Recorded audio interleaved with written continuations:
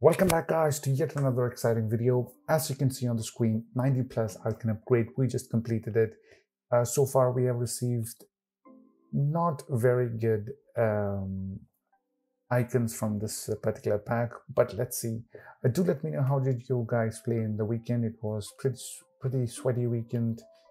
A lot of good players and here it goes 90 plus without any time wastes and a normal icon and there you go. Um, I think it's Beckham once again. I already have Beckham. It's a dupe.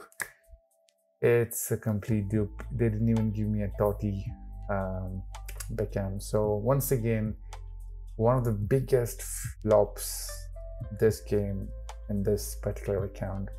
But it continues for you guys. If you like the video, don't forget to hit that like button and uh, do share it among your friends, family.